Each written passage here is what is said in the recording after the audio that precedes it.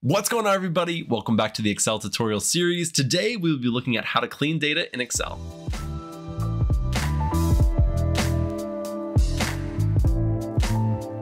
Now, knowing how to clean data in Excel is actually extremely useful, and there are a ton of techniques to do this. I'm going to be showing you the ones that I probably use the most and I feel like are the most helpful to kind of do the bulk or the majority of the data cleaning that you're going to do in Excel. Like I said, there's so many different ways and very specific things that you can do, but I'm going to highlight some of the bigger ones that I find the most useful. And some of you may be thinking, well, I'll just do my data cleaning in SQL or Python or when I get it ready to put it in Tableau. Um, but honestly, a lot of the data cleaning, at least a lot of the big stuff, I tend to do in Excel if the data set is small enough to fit in Excel. And so I think it's actually really, really useful to know how to do this because you'll most likely be doing it more than you think. Now, before we jump into the tutorial, I want to give a shout out to the sponsor of this video, and is a brand new sponsor. It is Unlocked by Z by HP. Unlocked is a movie that's actually broken up into four parts, and each of them have a unique data science challenge associated with it.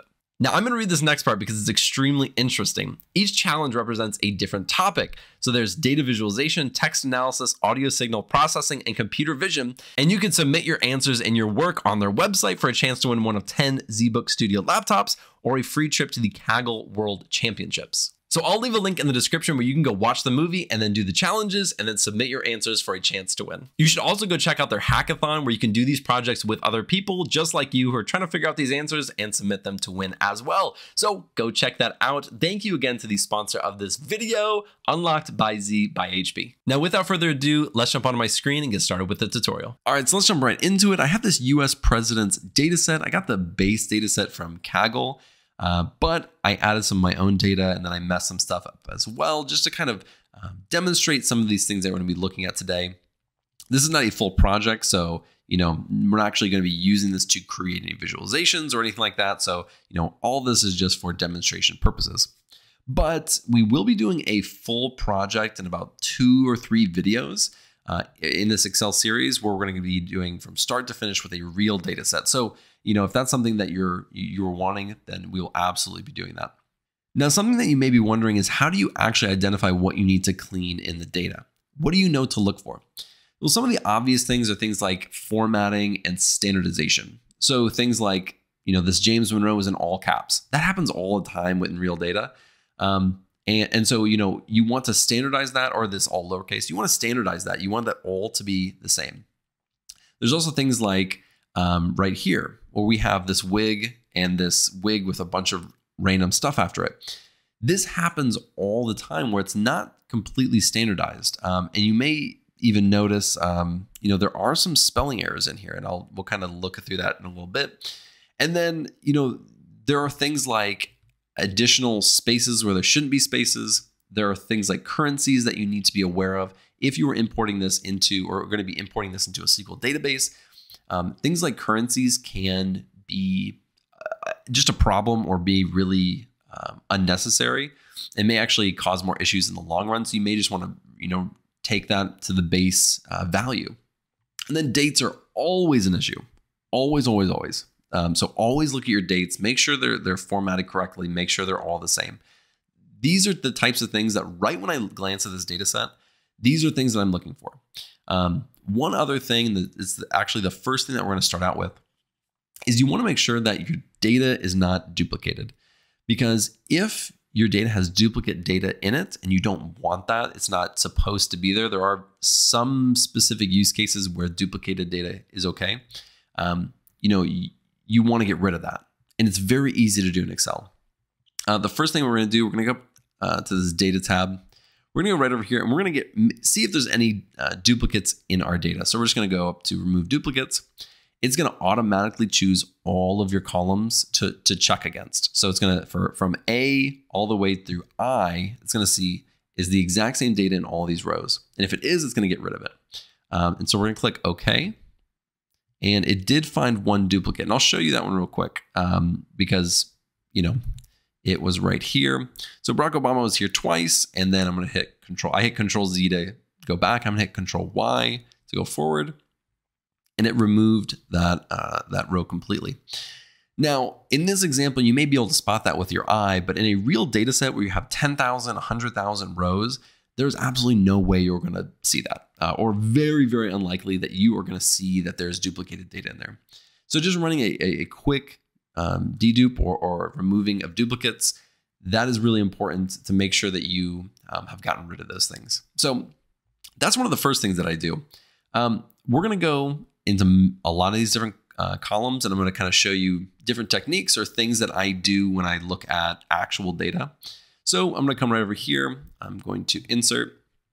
And this is what I actually do. I, I usually create a separate column, especially when I'm working with this, because I don't want to change this one. Um, I don't want to go in here and you know say um, equals upper equals proper, etc. There's a lot of different ways that you can change um, names, or not a lot, but the main ones that you can change names, and all of them are completely okay. So for example, I'm going to hit equal upper, oops, upper, and I'm going to go like this and close my parentheses. So I selected this cell, I close my parenthesis, enter. It is complete, and I'm going to hit um, in the bottom right, I'm going to double click this. It's going to apply it to all of them. It is completely okay to have your data like this if you want it to be like that. Um, if you want it to be all lower, you can do that. If you want it to be in proper case, you can do that. Um, there are, oops, there are different um, uses for all of them. And honestly, as long as it's all the same, typically it's okay. But if, um, you know, for example, if you're selling this to like a third party company or something like that, they may have um, what they want for their ingestion process when they take your file in. If you send, you know, a weekly file or a monthly file, they may want it exactly how they want it. And you can change that to, to what they want. Um, but as long as it's standardized for you, it's all the same for you, that is a good thing. So now we have all of these um, in the proper case. That's typically what I, I do, or I use upper. Those are the ones I use the most. I don't usually use um, lower. And if you go in here and you type in lower, you know, it changes it to all lower. I don't typically do that. Um, and I'm going to add, I'm going to, oops, I'm going to say president dash fixed. And so now all of these names, um, all of these uh, different uppercase and lowercase, these are all fixed. And it, and it just makes it so much easier to read and you don't have different um, uppercase and lowercase issues. It's all the same. So I'm going to keep that right there.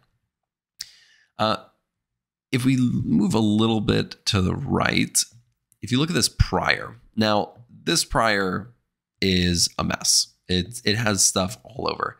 And to be honest, this is not really something that I would probably be using. Um, like in a real data set, I, I, would look at this column and I'd say this is pretty useless. Um, if I had a very specific use case for this this data in this column, I might try to you know parse it out and do something but I don't. Uh, this this is a completely useless column to me. So I'm actually going to skip this one. I'm going to go to this party one. And this party one to me it looks pretty important because this is something that I know I can group by um, and I can create visualizations with and and kind of break that out. And if you look right here, we're going to add um, we're going to add a filter. So now let's open up party and take a look. So uh, if we look right here, we have Democratic, Democratic dash Republican, Federalist, Nonpartisan, Republican, Republicans, Whig, and Whig with a, a, date and some information in the back of it, and then some blanks. Um, and it's really important when we're when we're looking at these um, ones that we think we might group by that we have these um, properly grouped. So Republican and Republicans to me right off the bat looks like a spelling error, and so I'm just going to deselect all I'm going to go to Republican, Republicans, and it's literally Republican all the way down except for this last one. And to me, that's just something that I would update. So I would just go right here. I do that. If I didn't do that, and then I try to create, let's say, a pivot table on here, I'll have its own group of Republicans and it wouldn't be added to Republican. And maybe that's on purpose, but let's just presume that we know this data extremely well and that's not supposed to be like that right? Again, that, that just comes back to knowing your data really well, understanding what it um, you know what it should look like. And we know that it should not be like that. So we're going to fix that. Uh, the next thing that we're going to fix um, and as you can see it, it got rid of it. Next thing we're going to fix is this Whig. Um, it, that's just like an error. That's that's some issue on the the data side. And we're just going to fix that by updating it. Um, and that's it I would always be keeping um, a, a, copy of this with the raw data uh, somewhere else because this is presumably like a working document. This is not a um, you know, you, you aren't saving over your original file. Let's just say that. And then let's take a look at these blanks real quick. Um, okay. So there are these rows right here that have nothing. I, I think we're okay. But if we see anything different, 47, 48. Okay. So yeah, it's just these ones right here that have no data in it anyways. It's just seeing it in the filter. So not an issue at all. So, okay, we're looking good. We've gone all the way over. We, we fixed this president. We skipped this one. Um, we, we cleaned up this party. And I kept this one in here because I'm not exactly sure if that's a Democratic or Republican. So I'm going to keep it its own thing. Um, I'm not a huge uh, history buff in that aspect. The next one right here is um, the next one right here is really easy. Uh, this is something that happens all the time especially on actually uh, most often it happens on numerical data. So like, uh, you know, there'll be a number of 1001 and then there'll be a space after it for absolutely no reason. Uh, and it happens all the time. It does happen like this as well, um, where you'll see this. And all you got to do is do trim and select the, uh, the cell. We're going to close that parenthesis and we're going to apply that all the way down. What is so fantastic about the trim is that it's really intuitive and it knows basically everything it needs to do. For example, um, it gets rid of the um, spaces before, it gets rid of extra spaces in the middle, and um, it, will get rid of extra spaces at the end, um, which you wouldn't be able to see, but they are there and they they absolutely can cause issues. If you have spaces at the end that you cannot see, um, let's take this one for example. Like if I had spaces at the end, that can cause issues when you insert or, or, or put that into a database. Um, that happens a lot with numbers. Um, you know, when you're putting that into SQL, that can cause issues. And so you really, it, it is important to actually do that trim. Um, and you can do that on all of your columns or just ones that you know you're having issues with. But once you import that data into SQL, you will know if there's an issue or not um, when you actually try to start using it. So we're going to say vice and we're going to say fixed. Oops. There we go. Uh, this next one is one that you'll run into a lot. When you're working with numerical data, you will encounter so many different issues. Um, one that I run into a lot is I, I've worked with a lot of cost data or pricing data. And when it's in an Excel, it, it sometimes comes in with um, these currencies, like a dollar sign, a pound sign, things like that. And when you put that into SQL, it just is a nuisance, right? You're not going to be able to run. Um, it's going to go in as a text or it's going to be a, like a string, right? Because it has that special character, and you don't want that. You don't want to have to then go in and then change things around. You just want to be able to start, um, you know, doing calculations on those numbers. So what you can do is sometimes it'll come in as a text, sometimes it'll come in as um, currency, which I think this one's a currency. We are just going to change that to be a number. And then we're going to get rid of these. Oops. And get rid of those. That, it doesn't look as pretty, but that is much more useful than actually having the currency on there um, with the decimals. This actually is so much easier when you when you want to use it for almost anything because you're able to add and uh, do things properly in other systems. In Excel, I think it does understand it, um, but you know that can cause issues. So there is how you do that. The next thing that we're going to look at is these dates. And just notoriously, whenever I see a date field, I know there's going to be an issue with it. It's very rare that I get a date field that is perfect. Uh, it just it, it is genuinely is um, is a novelty when that happens, and most of the time it has to do with um, let's say a date comes into Excel and it's in a text format, or a date comes into Excel and they're not the same. In this example, they are not the same. Um, and we just want them to all be similar. They say date. Uh, if you look right here, it says date. It says date. It looks like it should be the same. Um, but if we go like this, it all looks the same, right? There's no issues at all. If we were to um, try to use that, it may or may not be an issue, but we don't want to leave that to chance later on. If you're using this with Python or something like that, it can cause issues. Uh, maybe not in SQL because it may um, see the underlying, um, what's in the underlying cell, not just what we see. But some systems won't. And so you want to make sure that they're all the same. And so, you know, what we were doing back here with, um, oops, with the party, and we were looking at this uh, this filter and identifying the issues. I usually do that on date fields as well, and and oftentimes, um, I, you know, just for just for demonstration purposes, oftentimes I will get something like that, and then I'll come up here and I'll notice that there's this one random number. That happens all the time, all the time, um, and so you know you want to make sure that you um, that you look at these things and just just do at least a quick glance if not kind of doing a kind of a deep dive into it. But all we're to do is we're to do both of these and we're going to do a short date and let's take a look and see if that fixed it and so now they are all the same format and that is fantastic that is exactly what we want uh, we're going to go back through here we're going to get rid of these um, again this is a working um, this is a working document. Oops. Uh, we need to, we're going to, I'm going to do um, control shift down. Oops. Let me go back up. Do control shift down and copy. And what I'm going to do right now is I'm actually going to copy. let me do it right here. I'll show you. Sometimes I do this. Doesn't just depends. I'm going to go right here. I'm going to hit right click and I'm going to paste as a value, which means it's not going to take the um, calculation or the formula that I just did, uh, it's going to actually paste it as that value. So we just replaced it. Um, right here, you can see up here it says equals trim of G2. This now, now that I copied and pasted it over as a value, um, it got rid of that um, calculation and now it is actually a string. So we don't need this anymore. And I'll do the same thing over here as well. I'm going to control shift down, copy, and I just hit the right key uh, or the left key, sorry. Now I'm going to right click and I'm going to do paste as a value. And again, it has this proper, and now it doesn't have the proper, it's actually the value that was here. So that's really important to note. Uh, and we're going to get rid of that one. And so now what we have is, is already looking much better. Now, one of the last things I want to look at is deleting columns that we are not going to use.